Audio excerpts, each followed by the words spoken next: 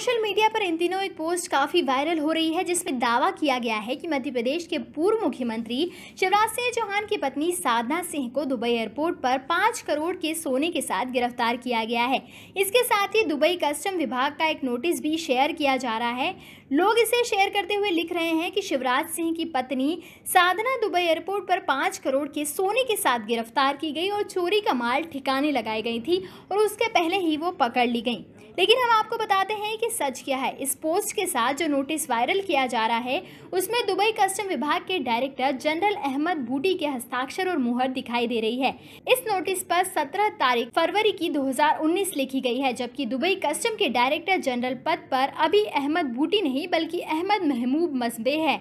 उन्होंने 2014 में ही अहमद बूटी की जगह ले ली थी।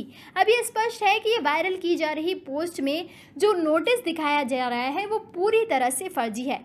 फिर हमने वायरल दावे से इंटरनेट पर भी सर्च किया तो इसके लिए कोई रिपोर्ट भी सामने नहीं आई। अगर ये रिपोर्ट सच्ची होती तो कोई ना कोई मीडिया संस्थान इस पर खबर ज़रूर छापता। Subscribe our channel and press the bell icon for more updates.